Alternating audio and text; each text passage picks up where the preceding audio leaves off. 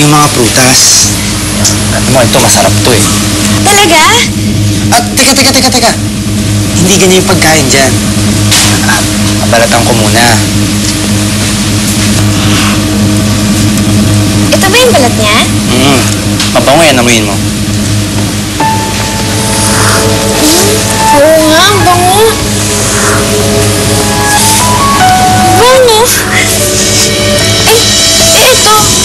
Naman itong mga to?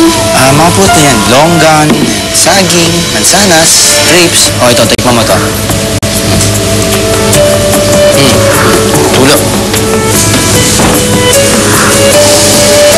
Ay, Ba't may matigas? yung buto, yung buto. Ito, ito. Yung hindi kasama yan. Ako na, ako na. Ito? Oo, tapan mo, tapan mo. Nita? Dahan-dahan, baka magbulunan ka. Teka, teka. Dahan-dahan, ha? Dahan-dahan. Mm, mm. Yung buto, ha? Yung buto. Sarap eh. Hindi ako nakakain ganitong harap. Yung buto, ha? Basta lagi niyo lang tatandaan ang order ni Agent Vicky na kahit kaibigan niyo pa yung darating, sabihan niyo muna kami sa loob bago sila papasukin. Affirmative, sir. Sige. Oh, okay na. May problema ba? Nagkakagusto ka ba kay Binhi? Anong klaseng tanong yan? Mahirap bang sagutin? Eh, hindi kita maintindihan kung saan nagagaling yung tanong mo eh. Kaya umiiwas kang sagutin, ganun ba? Ano ba yung tumatakbo sa isip mo? Ikaw talaga, oh. Huwag kang ma-inlove kay Binhi. Ano ba nasa utak mo, Wena? Alam mo, mas mapoprotektahan natin si Binhi kung iiwasan mong mahulog yung loob mo sa kanya. Pinagsaselosa mo ba si Binhi? Hindi ah. Ako magsiselos? Mag-on ba tayo? Yun na nga eh. Wala tayong relasyon. Eh bakit naharang yung pakikipagkaibigan ko sa kanya? Ngayong okay na kami ni Lloyd. At nakikita ko maalagaan kanya ng gusto. Hindi na rin kita pipigilan kung sakali may in love ka sa kanya. Hindi mo ko pipigilan? Eh kung magiging masaya ka ba sa kanya eh.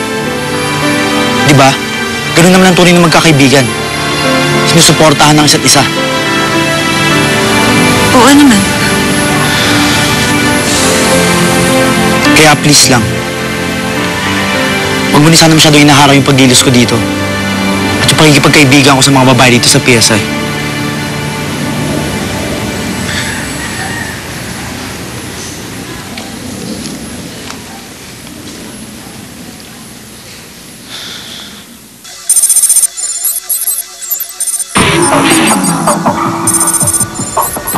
Agent Vicky, ano nangyari sa mga mata mo? Agent Vicky? Agent Vicky?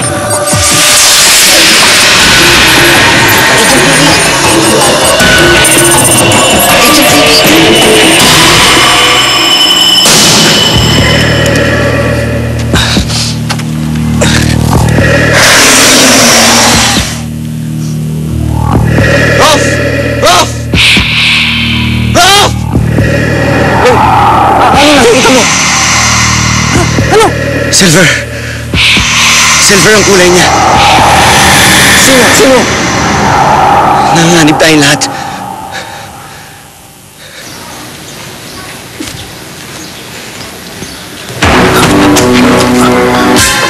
Hi, Fredo. Uh, hi. Masyado tayo nagiging busy sa paghahanap ng Binhi ng mga nakaraang araw. Wala tuloy tayong time para makapag-usap. May problema ba? Problema? Ano kasi, uh, naninibago kasi ako sa kilos mo. Baka ka ako, meron kang problema na gustong sabihin sa akin.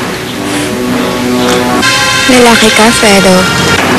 Alam mo dapat ang kinikilos ng isang babae kapag gusto niya ang isang guy. May gusto ka sa akin? Hindi pa ba obvious yun? Hmm. Uh, uh, eh, eh, eh, ew- ewan ko. Gusto type kita, Fredo.